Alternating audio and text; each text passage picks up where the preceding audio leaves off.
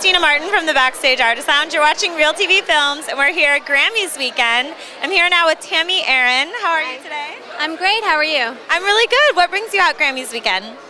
Well, I'm here to support my clothing line, um, which I'm doing with LaFine, and um, it's Pippi Longstocking inspired. It's launching next month at Magic in Las Vegas, and it's going to be sold in Europe, Japan, and throughout the U.S. That is so exciting. I mean, it's so nice to meet like someone that I watched as a kid.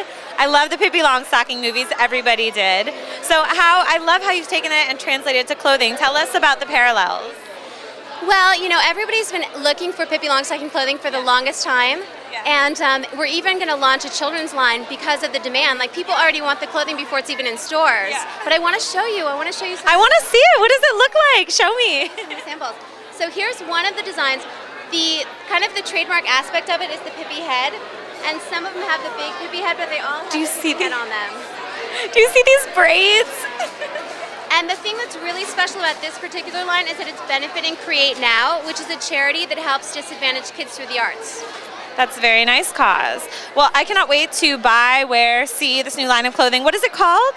It's called LaFine. LaFine by Tami Erin, who also has a TV pilot coming up as well, right? I do. I have a pilot coming out called Love Spell, and I'm playing the goddess Freya.